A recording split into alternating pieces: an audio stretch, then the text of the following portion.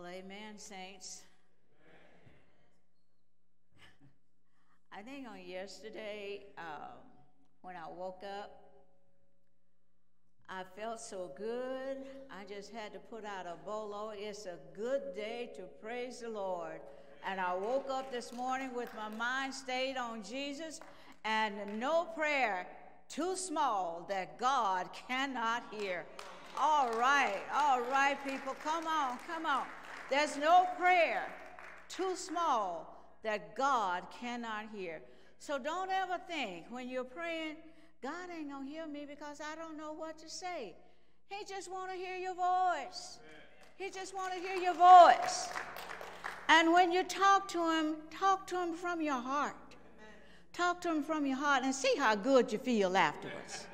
And see how good you feel afterwards because he desires to inhabit our praises. Don't you know prayer is a form of praise? It's a form of praise. So, Heavenly Father, we just want to approach your throne this morning. Lord, we know that it is only through Jesus that we can come to your throne of grace. But you told us, Lord, that we can come boldly in his name. But Lord God, let that, that boldness be uh, pride, but in humility. So, Father God, as I allow the Holy Spirit to use me this morning, Lord God, I pray that the words of my mouth and the meditation of my heart be accepted in your sight, O Lord, my strength and redeemer. And whoever has an ear to hear what the Lord is saying, let them hear what the Lord is saying. In Jesus' name, amen. Um, let me get my things together here.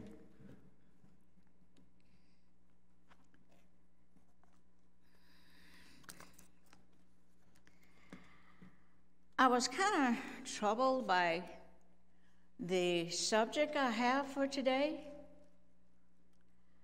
Um, well, what I want to talk to us about is we've been talking about victory. Pastor started us in a series about victory and the victory that we have in Jesus. And so we've been teaching us how we learn to live in that victory that we have in Jesus. But sometimes I think, in my own opinion, that we forget that we have the victory in Jesus because we keep trying to fight the fight that He's already won. And so that's what I want to talk to us about today. Stop fighting the fight that's already been won. And I want to come to you with that. I guess I better put on glasses so I can see it. Um,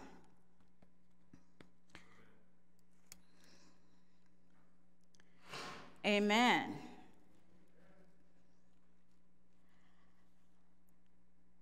From um, John chapter 16, let me turn this around so I can see it. Praise God. God, y'all, y'all just be patient with me.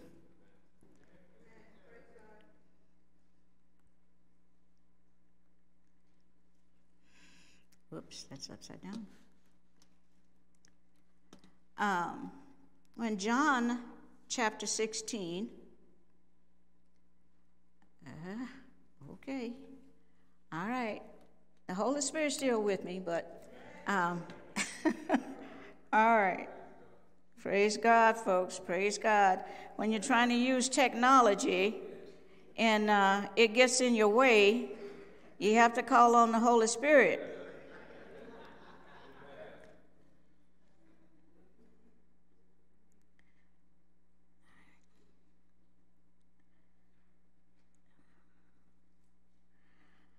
John chapter 16, verses 33. And it says, These things I have spoken to you so that in me you may have peace. And the world you will have tribulation, but take courage. I have overcome the world. And that's our victory that we have in Jesus because he has overcome the world. But there are many Christians under the Christian banner who are battling Satan every which way they turn. Now, granted, granted that he is busy and his demons are active to seek and to seem who he may destroy. And because there are many who are falling prey to his schemes of the evil one, they lose sight of the fact that we don't have to fight this battle because this battle has already been won. And so, in this series of learning how to live victorious in Jesus Christ, um, in Hebrews 6 4 through 6 says, For in the case of those who have been enlightened and have tasted the heavenly gift and have been made partakers of the Holy Spirit and have tasted the good word of the Lord and the powers of the age to come, and then they're falling away, it is impossible to renew again to repentance, since, since they again crucify themselves, the Son of God, to put them to shame. So if you're trying to go into battle with Satan and encouraging him, going into confrontation with him, you can't do that. You will lose because he's stronger than you. Because God says that the battle is his, it's not yours. He fights the battle, and the battle has already been won. So let's go back to Genesis and where it all began. So if we'll go back to Genesis chapter 3.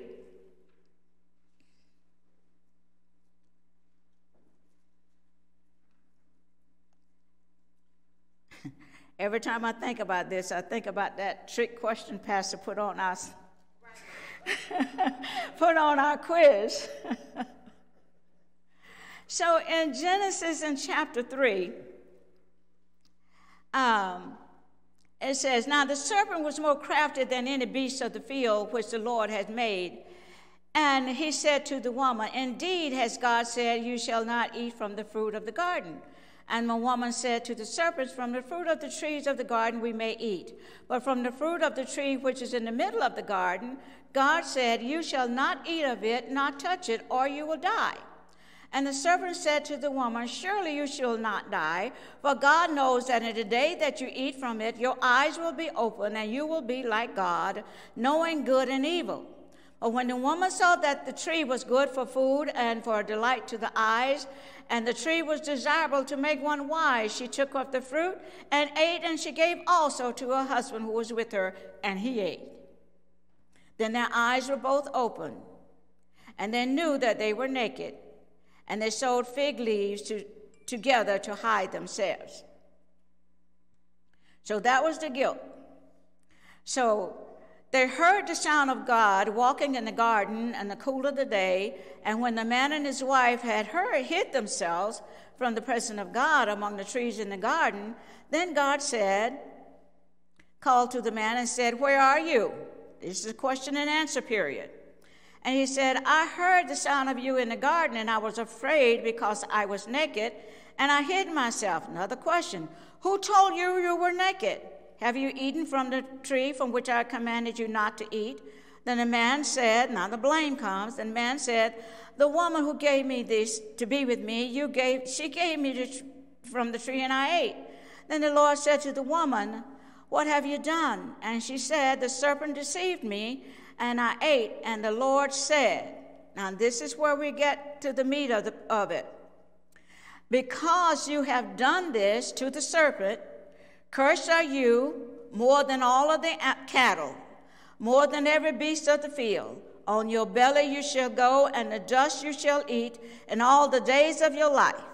Now, this is where we're coming.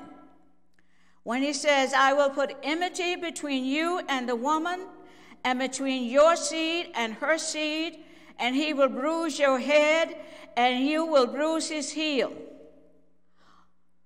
Okay, so in that promise right there, in that verse right there, the promise of redemption is set forth because Adam and Eve had brought sin onto an unsinless place in the Garden of Eden. There was no sin. They brought sin in by giving over and um, uh, leaning into what Satan had said to them. Instead, now that the dominion that they have, now Satan has it. Now Satan has, they had given it to them. So, in other words, Satan wants to be their God now. Satan wants to be their God now.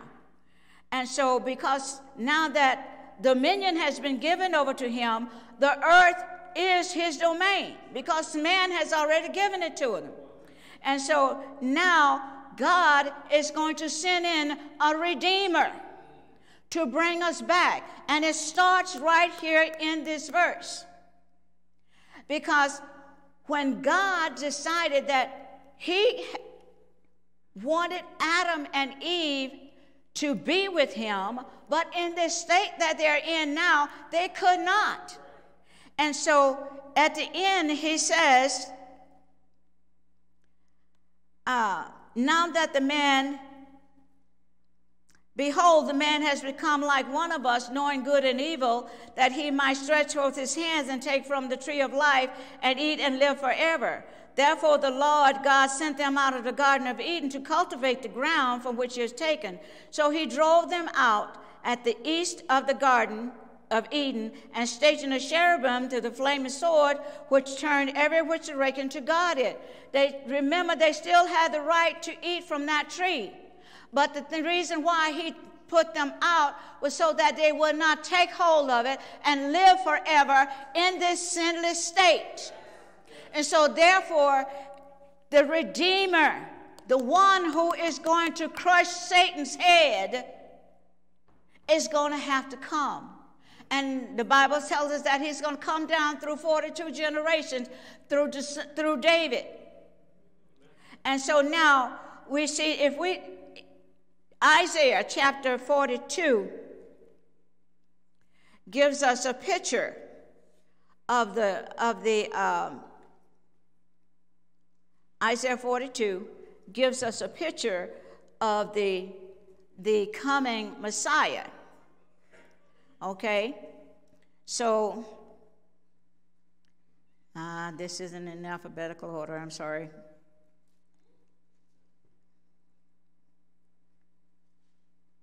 Y'all have to excuse me, please. I'm sorry about this. I don't type out every word of the Bible, okay? So I've got to read it as it is, okay? Okay, let's go to Isaiah 42 so that the word will be correctly divided, that we rightly divide the word of truth. So we're going to look at Isaiah 42, verses 1 through 4. Behold, my servant, whom I uphold, my chosen one, in whom my soul delights. I will put my spirit upon him. He will bring forth justice to the nation. He will not cry out or his, raise his voice, nor make his voice heard in the street. A bruised reed he will not break, a dimly burning wick he will not extinguish.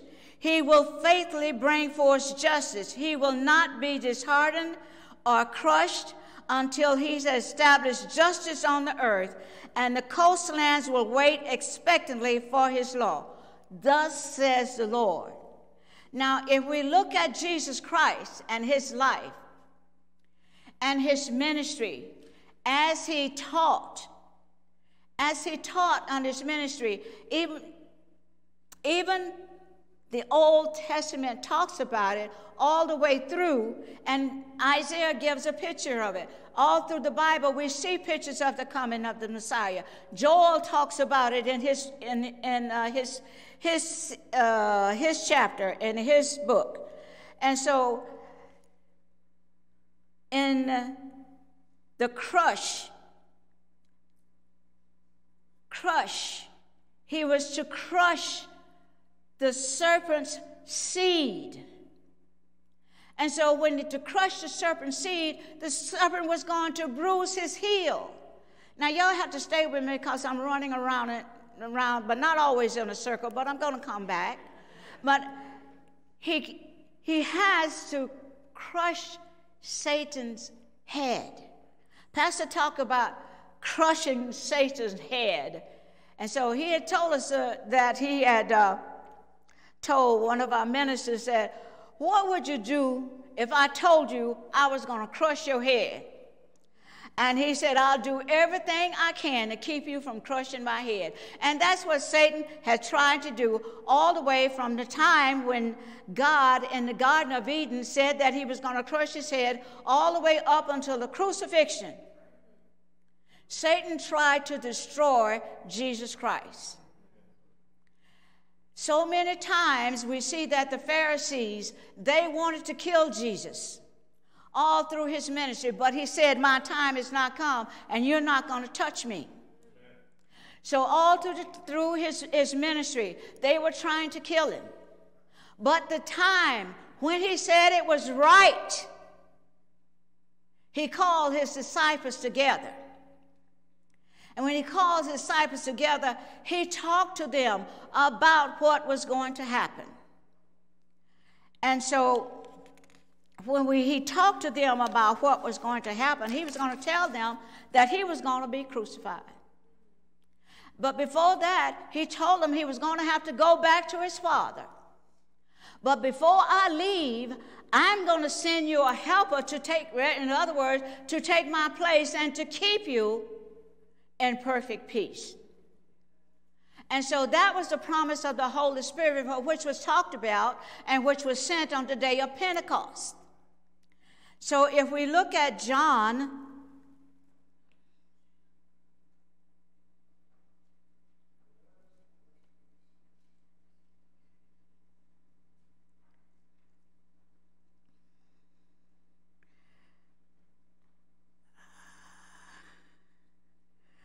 So if we look at John chapter 16, uh, starting with verse 8, he says, Now I'm going to him who sent me. And none of you ask me where I'm going, because I have said to you that these things of sorrow will fill your heart. But I tell you the truth, it is to your advantage that I go away. And if I do not go away, the helper will not come to you. But if I do go away, I will send him to you. And when he comes, he will convict the world concerning sin and righteousness and judgment, and concerning sin, because I go to the Father and you no longer see me, and concerning judgment, because the ruler of this world has already been judged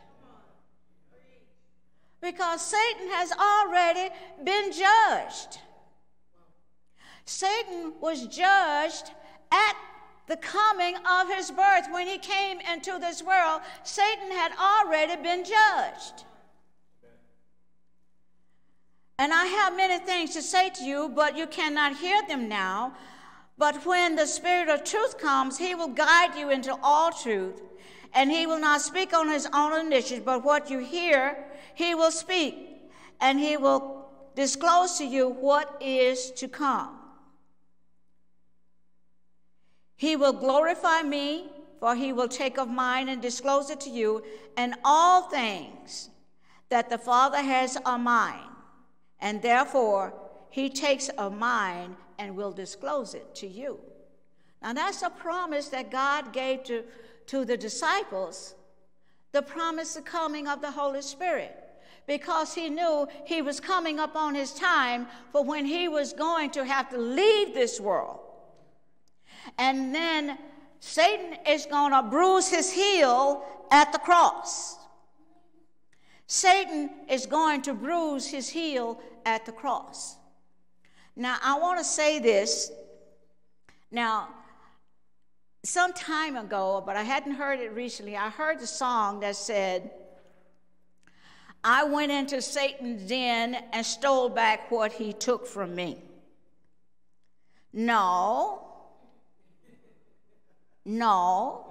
If you go into Satan's den and try to take back what he stole for you, There's a passage in the Bible too that says the demon talked to the uh, person who was t- he was talking to and said, Paul, I know, Jesus, I know, but who are you? So, in other words, you can't contend with him. God didn't give that to you to contend with him because that's his job. The battle is his, it is not yours. The battle belongs to the Lord. So don't try to get in a confrontational argument with Satan. You'll lose. So Jesus talks about his death. So when he talks about his death, he tells him um, in verse um, uh, at um, verse, mm, can't see it, 30, 32. Um, and now that you all know all things and you need for no one else to question you, but by this we believe that you have come from God. And Jesus says, Do you believe? Behold, the hour is come and is ready, already come, when you of you will be scattered, each to his own home, and leave me alone. And yet I am not alone, because the Father is with me. These things I have spoken to you, so that in me you will have peace. In the world you have tribulation, but take courage, I have overcome the world. When he said he has overcome the world, that, that means it, he has done it. You don't need to do anything else except believe him. Believe his word. Stand on his word. And to know that his word is true. You cannot change it. He died for our sins. That was when the, the curse, would, uh, the promise that Satan would bruise his heel because Satan thought he had him when he died. But the thing about it is, the scripture tells us that his bones were not broken, no, nor would his body see decay. So, if his bones was not broken on the cross, then when he went into the grave and he rose up in three days, his body didn't see decay. And so that is the truth. That was the scriptures fulfilled.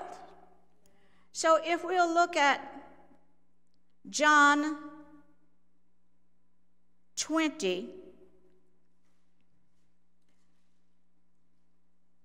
at the crucifixion, start with verse 11. And Mary was standing outside the tomb, weeping.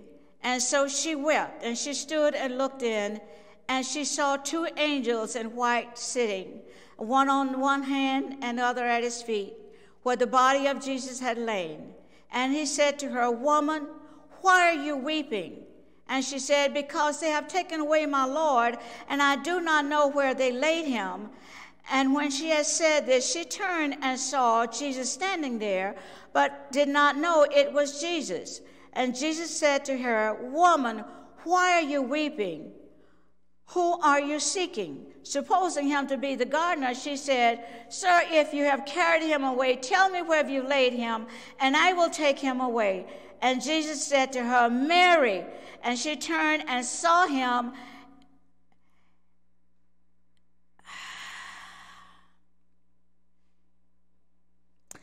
And she turned and she saw him.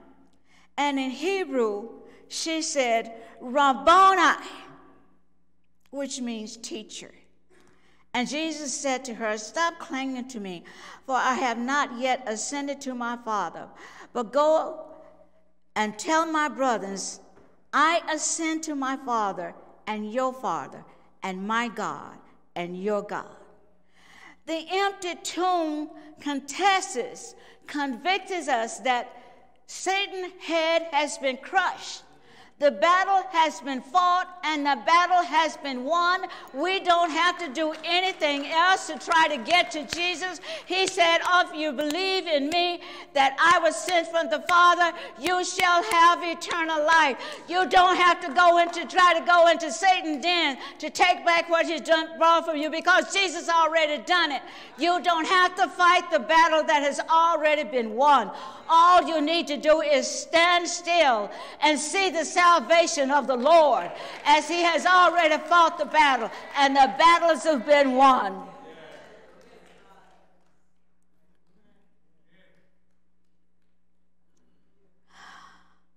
So in 1 Corinthians chapter 15, verses 20 through 27, and then I'll drop down to 54.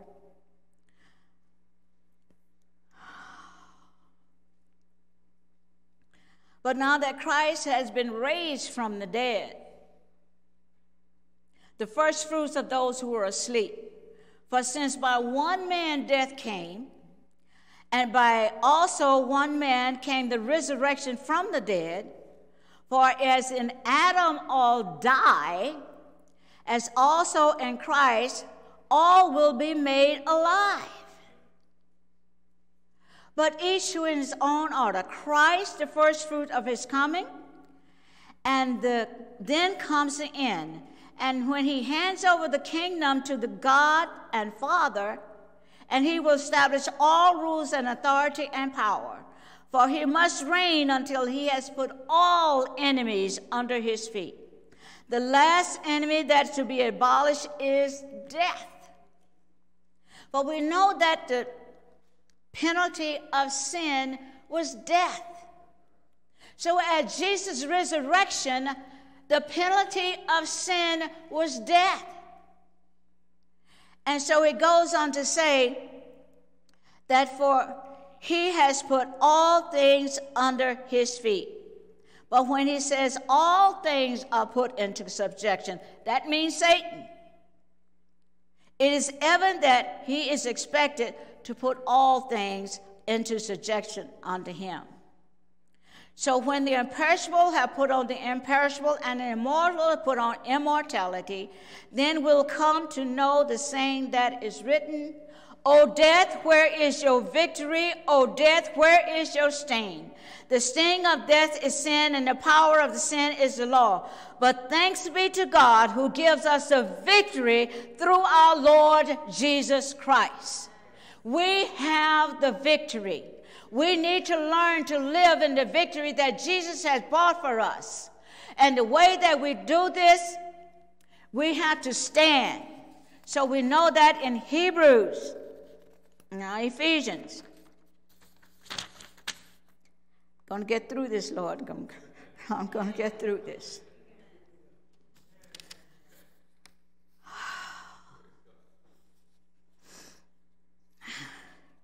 So in Second Chronicles, going back to the Old Testament, he says, Do not be dismayed because of this great multitude of the battle. But the battle is not yours, but it's God.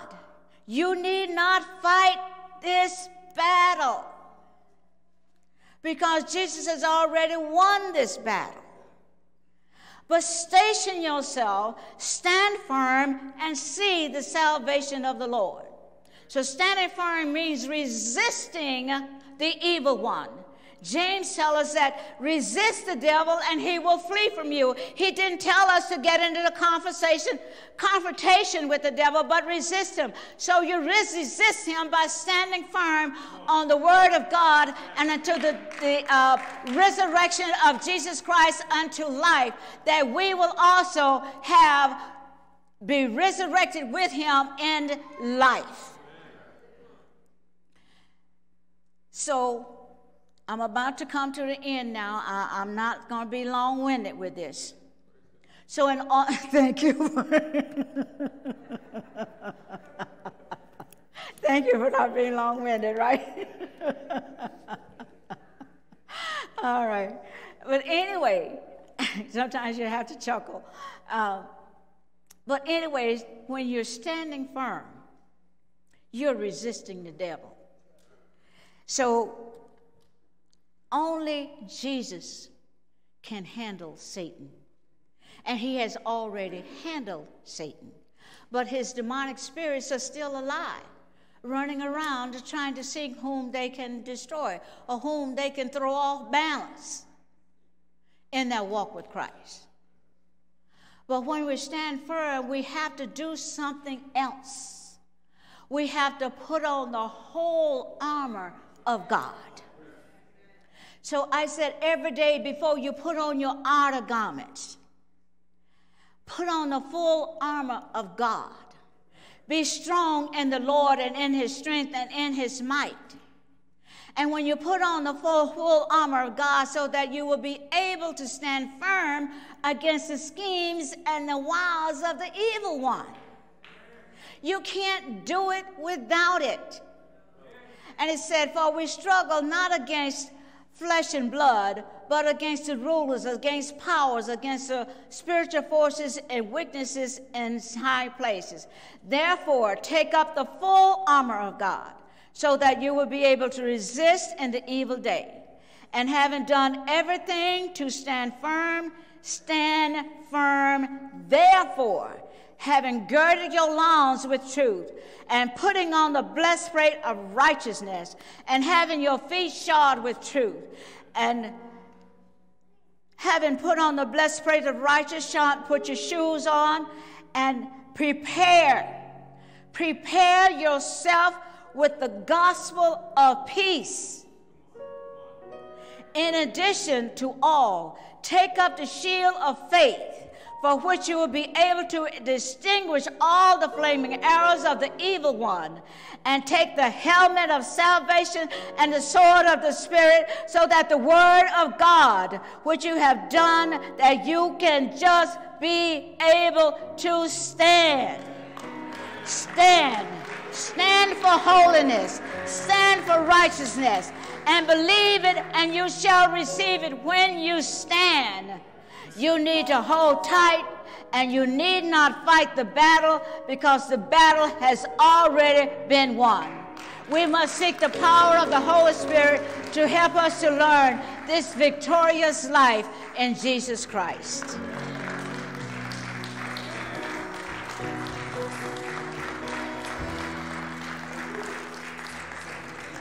Thank you, Lord Jesus. Thank you so much.